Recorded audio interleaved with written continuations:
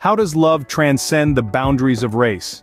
This question has been a point of discussion and reflection in our society for years. Over time we've seen a shift in societal norms and attitudes, with an increasing number of interracial marriages. According to recent studies, one in six newlyweds today is involved in an interracial marriage, a significant leap from just 50 years ago. But what's behind these numbers? What does it mean to find love beyond the confines of race? This video aims to shed light on these questions and more. We will explore the experiences and insights of interracial couples, understanding their journeys and the unique challenges they face.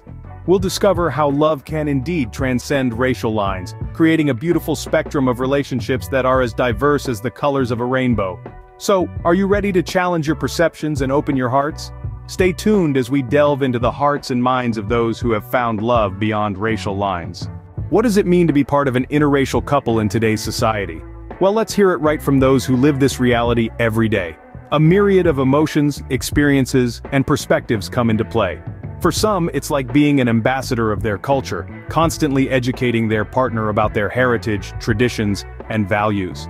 The joy of seeing their partner's eyes light up as they discover something new about their culture is an experience they wouldn't trade for anything. For others, it's a journey of learning and unlearning. They take pride in saying that their love story has made them more empathetic, more open-minded, and more accepting.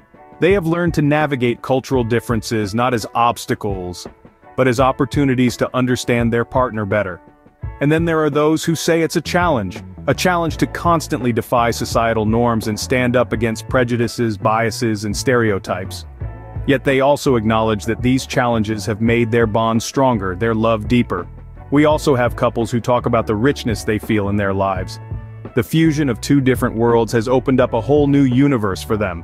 They enjoy celebrating diverse festivals, tasting different cuisines, and learning new languages.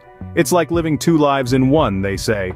But let's not forget the couples who emphasize that at the end of the day, love is just love. It doesn't matter where you come from or what color your skin is. They believe that their love story is not defined by their races, but by their shared dreams, shared values, and shared laughter. Yes, being part of an interracial couple comes with its unique set of challenges and joys. But isn't that what every relationship is about? Growing together, learning from each other, and loving each other despite the differences.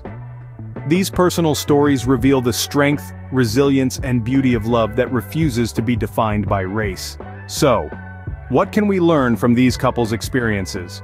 Well, it's clear that understanding, respect, and love are at the heart of every successful interracial marriage. Each couple has their unique journey, their own blend of cultures and traditions, but at the core, they all share the same universal language of love. They navigate cultural differences with open communication and mutual respect, creating a beautiful tapestry of shared experiences.